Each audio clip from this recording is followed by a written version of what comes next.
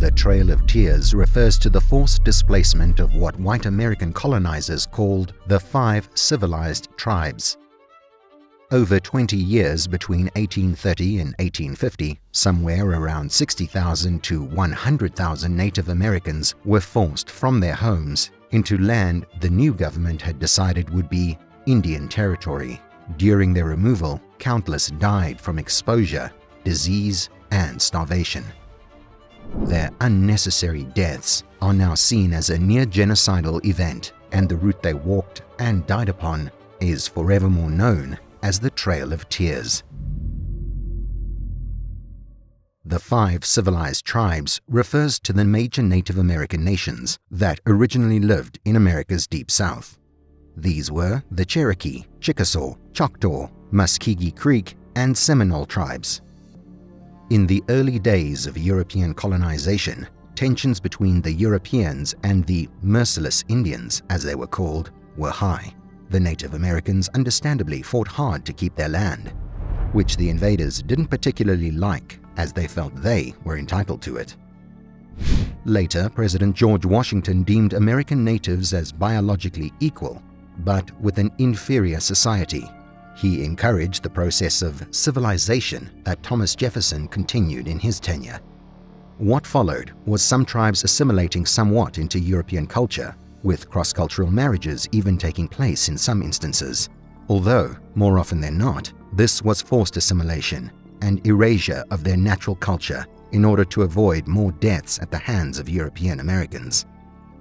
The five tribes we've already mentioned were the ones to do this, converting to Christianity and developing centralized governments, English literacy, written constitutions, and even owned their own African American slaves like the white colonizers. This uneasy peace was maintained until the white Americans kicked things up a notch. It wasn't sufficient that they had invaded another culture's territory and brought diseases that ran rampant. They now decided they deserved all the land for themselves as their settlements grew and people became greedier. Even the five tribes who had shown a willingness to integrate with the European Americans became victims of their desire to own everything. In 1829, Andrew Jackson became president. He had been a strong proponent for removal of Native Americans for at least a decade already, and now that he was in power, he was determined to accomplish this goal. And he didn't waste any time. On May 28, 1830, less than a year into his presidency, Jackson signed what was called the Indian Removal Act.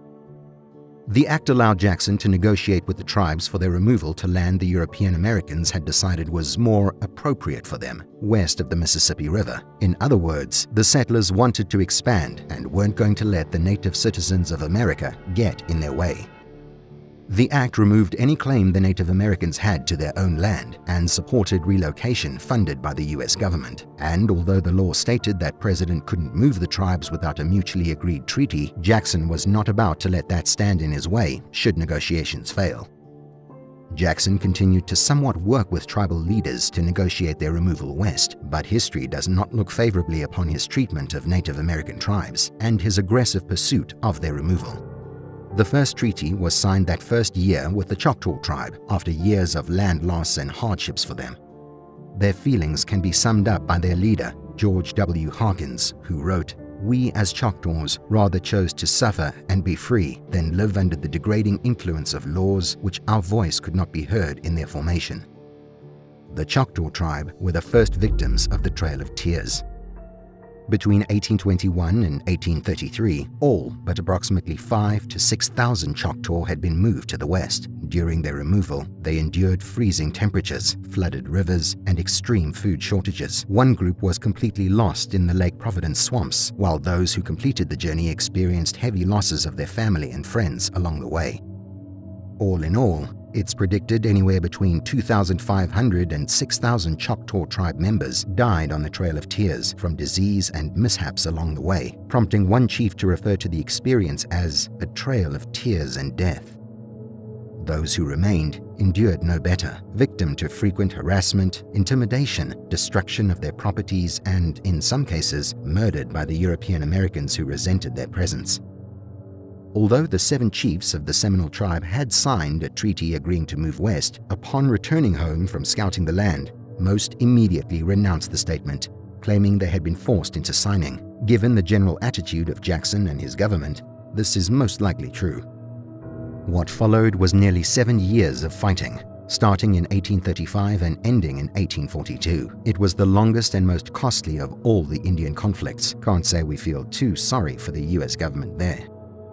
As the Seminole resisted relocation, Florida and the US government sent troops and equipment to help the army force the tribe over the river. They were successful, and it's predicted they forcibly relocated somewhere between 3 to 4,000 Seminole tribespeople. The number of Seminole who died in the war is uncertain, but it's likely between 700 to 1,000 members of the tribe. Around 500 Seminoles did escape to the Everglades, whom the government, after much fighting, left in peace, realizing they would not be able to subjugate them easily because of the terrain and climate of the region. They remain the only federally recognized tribe which never signed a peace treaty with the US. The Muscogee Creek tribe had been working with the US government and Andrew Jackson before his inauguration as president. Although the Muscogee signed a treaty with the US government, the Treaty of Cusseta in 1832, whites moved into their territory before everything was settled, and land speculators deliberately defrauded and stole from the lands of the Muscogee Creeks. By 1836, there was an uprising from the tribe's people protecting their land from the fraudulent and invasive practices of the whites. The uprising ended abruptly when soldiers began rounding up Creek people and forcibly extracting them to the Indian territory of Fort Gibson. Over the next year, more than 15,000 Muscogee Creeks were forced from their homes with nothing more than the clothes they were wearing. With the army in tow, they made their way along the 750 mile route now known as the Creek Trail of Tears. It's estimated over 3,500 men, women, and children died on the journey. And that's not to mention those that were forced into concentration camps for their safety, but who actually found themselves raped, enslaved, and murdered. Overall, some numbers estimating the total Creek Trail of Tears death toll go up as high as 8,000, more than half of the tribe's entire number.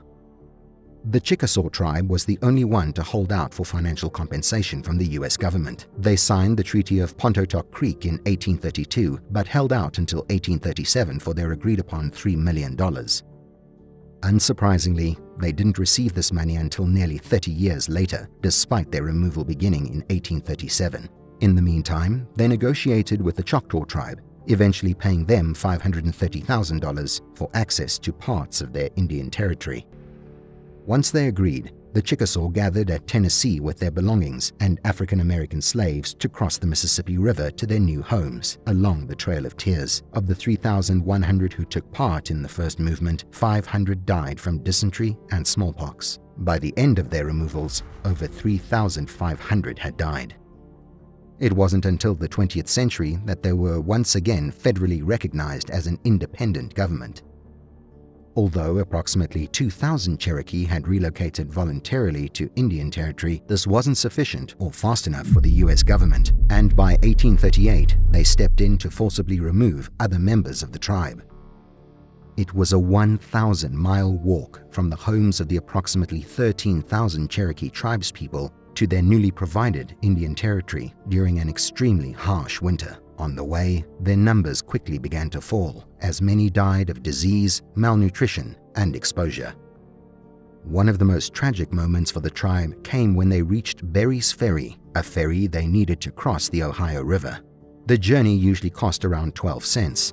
The Cherokee tribe members were charged $1 each. Many died huddled under the mantle rock, waiting for the ferry to allow them to cross.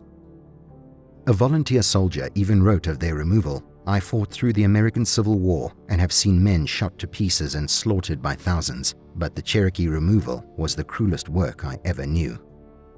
Approximately 4,000 Cherokee died on the Trail of Tears, almost a third of their total number. How European Americans treated Native Americans during their years of expansion and since has long been looked upon with disapproval and disgust, but few outside know the true horrors of the Trail of Tears and the unfathomable circumstances of the tribe's route to their new homes that resulted in a near genocide of the Native American people.